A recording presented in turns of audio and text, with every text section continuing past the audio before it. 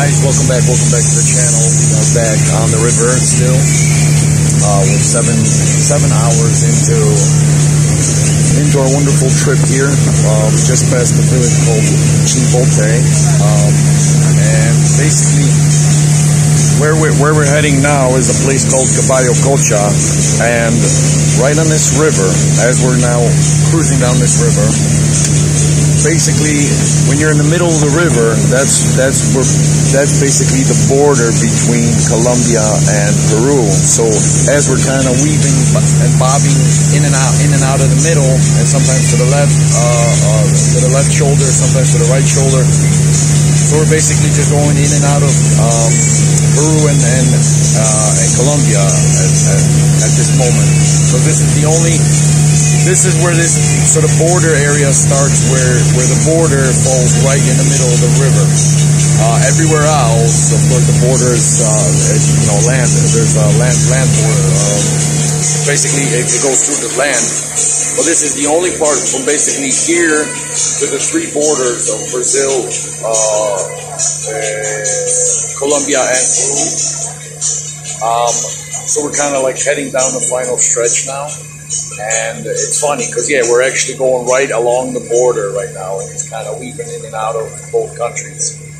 So that's all I wanted to share with you guys at the moment. Uh, should be probably about two, two more hours or something. Uh, we're gonna probably, probably do a longer stop in um, in Caballo Cocha because it's like it, like it takes it, it, you have to go through this little like channel, like this dugout channel, and then kind of takes you around. There's a big lake there. That's the name. Caballo Cocha is the horse lake, and yeah, and then kind of I think and I think he's gonna go out on the other side. So like you can you can uh, come through the one side and enter from like the one uh, the one uh, part of the channel off the off the Amazon River, which there is called the Solimões River, and you can exit on the other side going back to the river. So it's kind of like a U it's kind of like a U bend kind of thing. Um, uh, so yeah, you just come in on one side and then just pass through the, the village of Caballo Cocha or the city of Caballo Cocha and then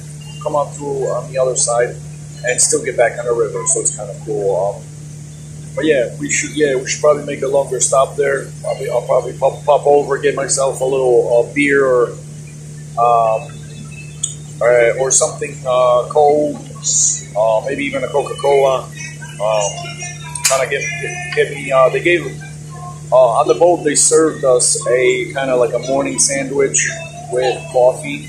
Like that was like first thing in the morning at like 6.30, 7 o'clock. And then just about an hour ago, we stopped at this uh, place called uh, uh, San Pablo de Loreto. And we stopped there and picked up like ready-made food, um, which was amazing. It was kind of a uh, it was like chicken, rice, a little bit of potato, a bunch of veg- bunch of vegetables. Um, so yeah, it was it was decent. That's like the first chicken I've had probably this month. Um, in all of October. So yeah, I, I hadn't had any, any meat, any real proper meat this month. Uh, but that was like my first. That was pretty much my first like piece of chicken. Um, and uh, and yeah, guys. So yeah, we're we're we're almost there. About another two hours. About another two hours or something.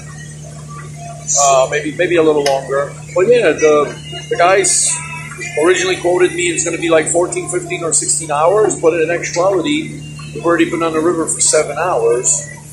So, if, uh, like two, two and a half more hours, it's basically going to be a 10, uh, 10 hour uh, ride. So, that's not too bad.